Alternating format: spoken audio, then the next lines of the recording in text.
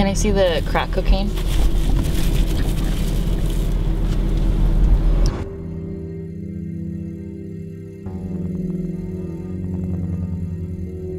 If it all comes back, that's how you know it's pure.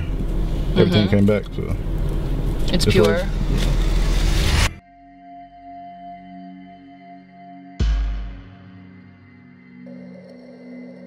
Oh, so this is like what you show Oh, your these are- clients to be like. These are like. grams.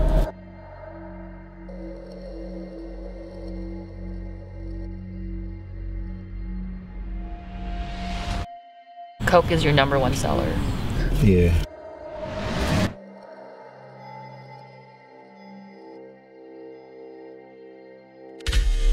By the time the meth, cocaine, or heroin from Mexico reaches a regular dealer in LA, that means it's gone through the cartel's hands and past the drug task forces that specialize in major seizures. Moving forward, street rules apply, which means we're tracking the drugs on our own without the protection of law enforcement.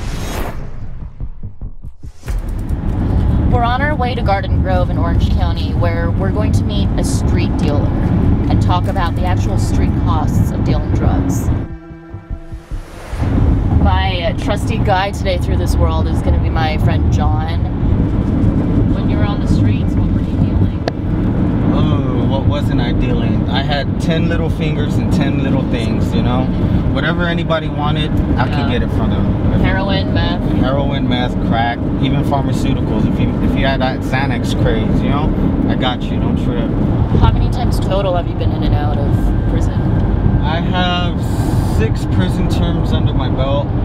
For the most part, the prison system these days are filled with drug users and drug dealers. You know, Right. which I think is bullshit because even in complete social economical collapse, the two things that will continue to sell is drugs and pussy.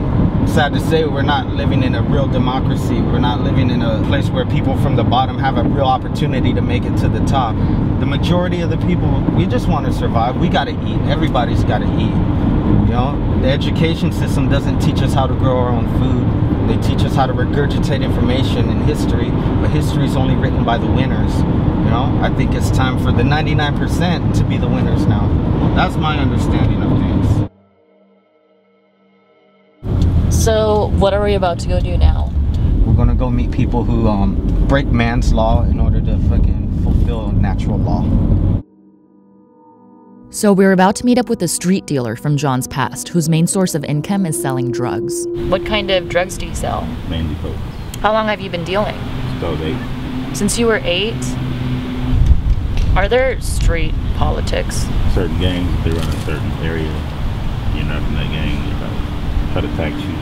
Mm-hmm. Are you in a gang? Yes. Born in it, Which one? but that homies die in my arm and shit like that. Wow. Have you ever shot someone? I've been arrested for it, so nah, they found me guilty. Assault with a firearm and attempted murder. Right. I did time in the hole and it's the best thing that ever happened to me. Hurt myself and everybody around. Some people sell drugs to support their, another habit they have. Or sell drugs to support their drug habit. I've seen that a lot. Why do you sell drugs? Support my family. Pay bills. Live good. Little bit. Mm. But everybody can't get a job. I tried six months every day. And they hired me at Krispy Kreme. How did that go? Like, You didn't like it. You don't like Krispy Kreme donuts? they don't pay enough. No. So, first check, what the fuck? Didn't even cash it. I was so mad at it. How much was it? Like 350 $350 for a week. How much do you make now? like a couple hundred thousand. A couple hundred thousand. Fast money. It's not easy, but it's fast. Right after our chat, we got a close look at his main product. That's a lot of Coke. This is five ounces of coke. These are grams, seventy dollars a gram. $70 a gram for the crack cocaine. And these are equally popular as the powder these days? Your your older crowd does the crack. I've never seen crack cocaine before. Just the form is different. Yeah, you can roll it with weed or antenna on the car. That's like 40, 50 bucks right there. 40, Just that little 50 shit. bucks. How do you test them? It snaps. It it doesn't crumble. Crumbles If- up, that means you got a little baking soda in it. You like that crack, that clean crack? Yeah, you got a big nice snap. Wow. Where did you get this from? Oh, a couple Mexican guys down the street. Your friendly neighbors? yeah, from- How long will it take you, you think, to sell those five ounces? I could give four or five people one ounce apiece. They pay me in two days.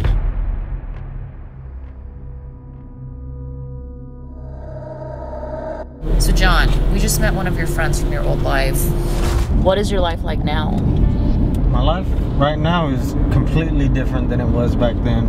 Um, right now, I'm a chef at a restaurant in West LA. Um, I found my passion in cooking and art. You know, rather than running the streets, running amok. It was like a long, a long journey to get to where I'm at now. But I'm, I'm happy I survived.